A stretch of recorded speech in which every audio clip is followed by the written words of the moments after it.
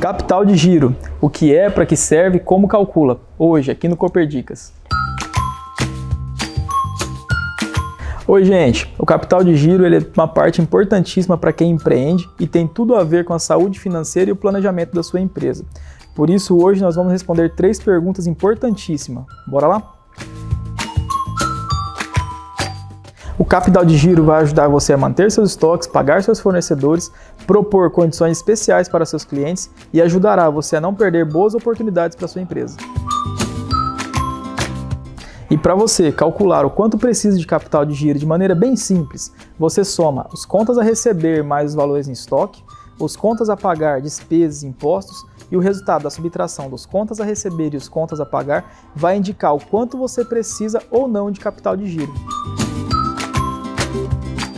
E isso é fácil. Aos nossos cooperados, nós temos condições excelentes para a sua empresa se destacar ainda mais no mercado. Basta procurar nossa agência, conversar com um dos nossos gerentes e aproveitar as oportunidades. E aproveitando o tema, vai uma dica para vocês. Não olhe para o capital de giro apenas como um recurso de emergência. Procure dentro do seu negócio oportunidades onde você se beneficie de um crédito rápido e acessível. E não se esqueça, estamos aqui para cooperar com a saúde e crescimento da sua empresa. E a gente fica por aqui.